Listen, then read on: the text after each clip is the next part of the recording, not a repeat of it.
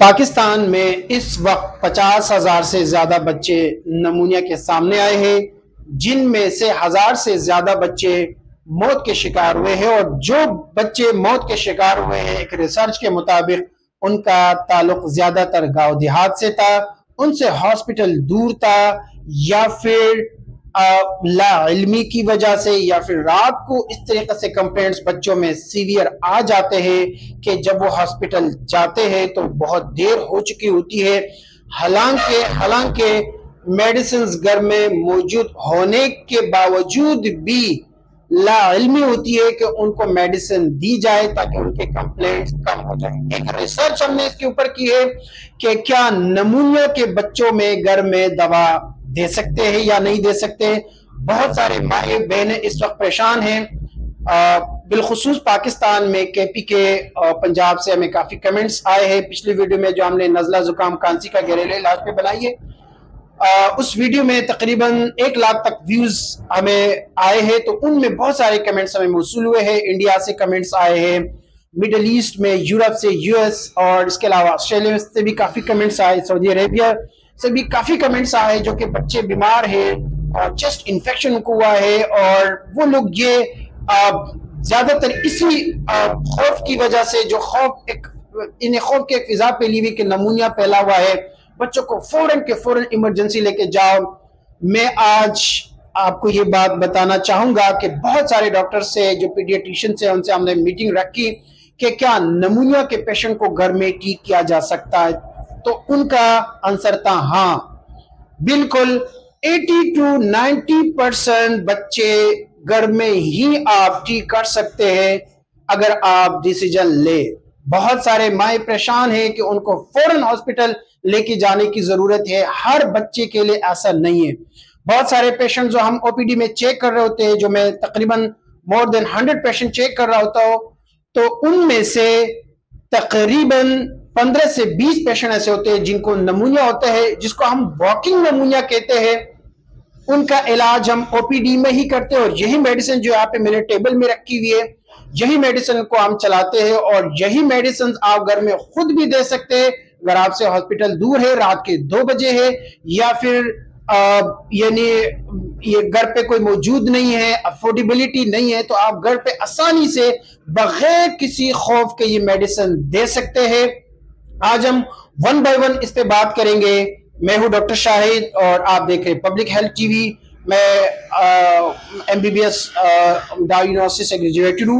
M C P S मैंने paediatrics में की है और इस वक्त मैं गवर्नमेंट हॉस्पिटल में as a medical officer job कर रहा हूँ। तो आज बेसिकली हमारा ये मकसद था कि जितने भी माए बहने परेशान हैं कि भाई uh, नमूनिया फैला हुआ है, फ़ौरन बच्चों को नजला जुकाम हो जाते हैं, फ़ौरन हॉस्पिटल जो है वह आ जाते हैं। उनके लिए स्पेशली वीडियो है कि अगर बच्चे को नजला जुकाम कांसी है, गला खराब है, उसके चेस्ट कंजेस्टेड है, बलगम फेंक रहा है बच्चा, तेज बुखार हो रहा है, और आपसे हॉस्पिटल दूर है, कोई अफोर्डेबिलिटी भी नहीं हो पा रही तो घर में आप बच्चों का इलाज कैसे करें?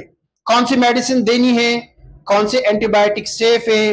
कौन सी ऐसी मेडिसिन है जिससे आपको अवॉइड करना चाहिए, वो आज हम इस वीडियो में बात करेंगे। हम बात करते हैं नमूनिया की ट्रीटमेंट का। नमूनिया का इलाज कैसे करते हैं? One by one zero day से लेकर छह महीने तक के बच्चों का, छह महीने से दो साल तक के बच्चों का और दो साल से छह साल तक के बच्चों का हम इस वीडियो में बात करेंगे। छह साल से जो बड़े बच्चे हैं, उनमें नमूनिया हमें इतने ज़्यादा नहीं मिला है, लेकिन अगर है भी तो भी आप ये मेडिसिन आसानी से दे सकते हैं। तो हम छह महीने से कम बच्चों में अगर हम बात करें तो बच्चों में नमूनिया की वजह से बुखार होता है। बुखार के लिए आप आसानी से पेनाडोल का ड्रॉप दे सकते हैं। अगर दो महीने से कम बच्चा है तो आ, उनको आप आराम से पेनाडोल का ड्रॉप दे सकते हैं। 0.2 ml से 0.4 ml तक हर चार यानी हर छह घंटे के बाद दिन में चार मरतबा आप आसानी से दे सकते हैं। एसिफाइल की अगर मैं बात करूँ तो इसमें ग्रीन एसिफाइल आता है जिसका कलर ग्रीन होता है और एक जो है वो ब्राउन कलर का होता है। जो ब्राउन कलर के वो हर गिस छह महीने से कम बच्चों में इस्तेमाल न करें। उसके ऊपर मैंने एक वीडियो बनाई हुआ आप देख सकते हैं कि छह माह से कम बच्चों में कौन सी दवा आप दे सकते हैं। तो वो भी आप देख सकते हैं। लेकिन यहाँ पे चूँकि नमूनिया की हम बात कर रहे हैं तो अगर आपको लग रहा कि बच्चे में मिलते जुलते अलामत या नमूनिया के उसके चेस्ट कंजस्टेड है, बुखार हो रहा है, नजला कांसी हो रही है तो आप आसानी से घर में एसिफाइलिन जो ग्रीन कलर का है, वो कोशिश करें कि दो महीने से छह महीने के दरमियान के जो बच्चे हैं वो आप दे सकते हैं। दो महीने से कम में आप डॉक्टर के मशवरे के बगैर इस्तेमाल न करें। लेकिन अगर बच्चों को फीवर है कफ है उसको आ, इसके बलगम बना हुआ है तो एसिफाइलिन जो ग्रीन कलर का है वो आप एक चौथाई चम्मच सुबह दोपहर शाम रात को दिन में तीन से चार मरतबा आसानी से दे सकते हैं। साथ में आप स्टीम दे सकते हैं ताकि उसका बलगम जो है वो ज़्यादा से ज़्यादा बाहर निकल आए। ये हुआ कि दो महीने से कम बच्चे हो या छह महीने से कम बच्चे हो। अगर दो महीने से छह महीने के बच्चे उसमें पेनाडोल का ड्रॉपर जो है ज़ीरो पॉइंट फोर एम से लेकर ज़ीरो पॉइंट एट एम तक आप आसानी से दिन में चार मरतबा दे सकते हैं। इन दो मेडिसिन के अलावा आप छह महीने से कम बच्चों में खुद से कोई दवा न दे। एंटीबायोटिक की अगर हम बात करें तो हमारे पास तीन किस्म की ऐसी एंटीबायोटिक है जो कि हम आसानी से नमूने के पेशेंट को दे सकते हैं। और चेस्ट इन्फेक्शन में आसानी से दे सकते हैं और उनसे तकरीबन 100 परसेंट क्योरिटी रेट होता है, जिनको हमने तकरीबन ज़्यादातर बच्चों में ये ट्रायल किया है और काफ़ी बच्चे जो है उनसे आराम मिला है। यहाँ पे हम बात करते हैं, सबसे पहले ऑगमेंटिन ये ऐसी मेडिसिन है जिसका फार्मूला आप अगर बाहर मुल्क वाले है ओवरसीज पाकिस्तानी है या इंडिया के तो आप वहाँ पे आप देख ले, जो भी इसका एमोक्सिसिलिन एसिड फार्मूला है इसी फार्मूले के ब्रांड नेम, आपके मुल्क में जो भी है वो आप दे सकते हैं। ये आप आधी आधी चम्मच सुबह शाम, छह महीने से कम बच्चों को बगैर किसी खौफ के दे सकते हैं। ज़ीरो डे से भी आप स्टार्ट कर सकते हो। मैं सबसे पहले ये कहूँगा कि अगर आपने बच्चों को नजला कांसी बुखार हो रहा है और उसको अलामत आपको लग रहे कि नमूनिया के है तो बगैर किसी इंतज़ार के आप फ़ौरन इसको एंटीबायोटिक शुरू कराए, क्योंकि बेहतर यह है कि उनको बचाया जाए खतरनाक अलामत से जाने में। तो एंटीबायोटिक आप ज़ीरो डे से आप आसानी से एक एक आधी चम्मच सुबह शाम आप दे सकते हैं और ये सात दिन तक आप दें। इसके अलावा अगर कोई भी बच्चे को आप ये मेडिसिन दे रहे लेकिन उनको आराम नहीं मिला और दो दिन हो चुके हैं तो इसको इस एंटीबायोटिक से आराम नहीं मिल तो इसके अलावा हमारे पास आता है सिफिस्पान। ये बहुत बेहतरीन है। ये सिफिस्पान, ये बहुत बेहतरीन है जिसका फार्मूला सिफिक्जीम है और ये सिफिक्जीम का जो फार्मूले के यानी मेडिसिन होते हैं, ये भी आप ज़ीरो डे से ऊपर तक के हर बच्चे को दे सकते हैं। ये आधी आधी चम्मच सुबह शाम आप दे सकते हैं, ये भी सात दिन तक आप दे, और इससे कम न दे, क्योंकि उसको जो भी इंफेक्शन होगा चेस्ट का, वो इससे बेहतर हो जाएगा। इसके अलावा बहुत सारे ऐसे बच्चे होते हैं जिनको ये दो एंटीबायोटिक से आराम नहीं मिल रहा होता। तो इसके अलावा हमारे पास एक क्लैरिसिट ये बहुत बेहतरीन है, और जिसकी टिश्यू टिश्यू पेनिट्रेशन बहुत अच्छी है। तो इसीलिए हम ये जो एंटीबायोटिक है, ये हम आसानी से घर में तीन माह से ज़्यादा बच्चों को दे सकते हैं। तीन माह से कम में आप बेहतर है कि डॉक्टर के मशवरे के मुताबिक इस्तेमाल करें। तीन माह से बड़े बच्चों को आप आधी आधी चम्मच सुबह शाम सात दिन तक आप दे तो बगैर किसी खौफ के आप घर में ही चेस्ट इन्फेक्शन को ठीक कर सकते हैं। इसके अलावा हम बात करें छह माह से कम, छह माह से कम बच्चों की बात हो गई। छह माह से बड़े बच्चे अगर है तो उनको आप एसिफाइल ब्राउन कलर का दे, जो आपको स्क्रीन में दिखाई दे रही है भी आप एक चौथाई चम्मच सुबह दोपहर शाम रात को दे सकते हैं। अगर उसको चेस्ट में बलगम बन रहा है तो बेहतर है कि ये दिया जाए। लेकिन अगर उसको सांस में तकलीफ़ हो रही तो दूसरे हमारे पास मेडिसिन है, वो है ब्रिटनिल ये बहुत बेहतरीन होता है कि बच्चे की जो सांस की नली होती है, उनको थोड़ा बढ़ा देती है और सांस के जो जिस, जिन बच्चों को सांस में तकलीफ़ होती है, इससे काफ़ी कम हो जाती है। ये आप आधी दी चम्मच, छह माह से कम के, छह माह से बड़े बच्चों में, छह माह से कम में न दिया जाए।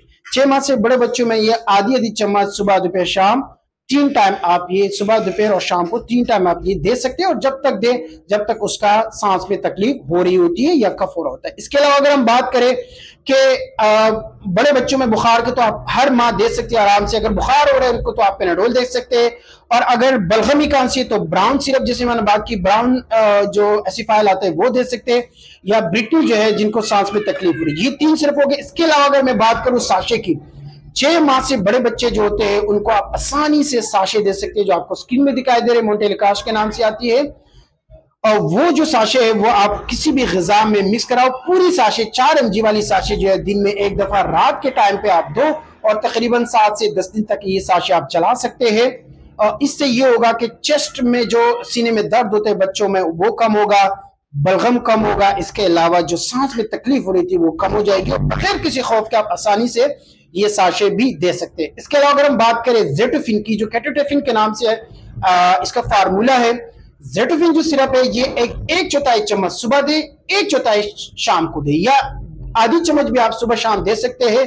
छह माह से दो साल के बच्चों में आसानी से ये आप दे सकते हैं और बहुत बेहतरीन है। इससे भी आ, काफ़ी बच्चों को आराम मिलता है और ये मेरा यानी फेवरेट आप समझ लो मेडिसिन है छह माह से बड़े बच्चों में जिनसे आसानी से कफ को जो है वो सप्रेस किया जा सकता है, या फिर जो बलगम हो रहा होता है वो आसानी से निकल जाते हैं, या जो सांस में तकलीफ़ इवन की हो रही होती है, वो भी काफ़ी बच्चों की ठीक हो जाती है।